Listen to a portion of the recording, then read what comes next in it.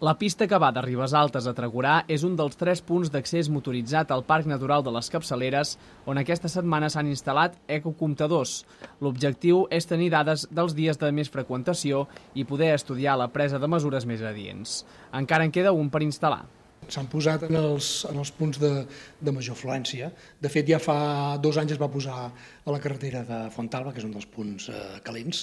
Val? Després s'ha posat també ara a Collet de les Barraques, a la pista de Ribes Altes a Traurà, s'ha posat pujant cap a Venter 2000, sortint de set cases, i se'n posarà després a la pista que va de, de set cases cap a Espinavell. Els ecocomptadors gairebé no són perceptibles i han quedat integrats als camins. Ara s'han d'estudiar les dades durant almenys dos anys per saber els vehicles que hi passen en cada temporada, com la de bolets o la d'estiu. A partir d'aquí es poden prendre decisions en cada punt concret. Tu com a, com a gestor d'un espai natural protegit dius, guaita, com menys gent vagi a millor perquè el que és l'entorn quedarà més preservat i tal.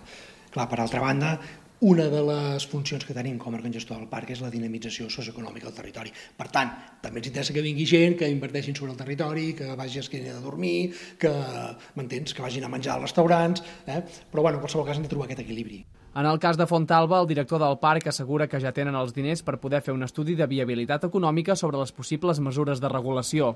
Una de les opcions que hi prenia força era la dels taxis que pugessin els visitants, però és una decisió que s'ha de prendre de manera consensuada amb la gent de Caralps.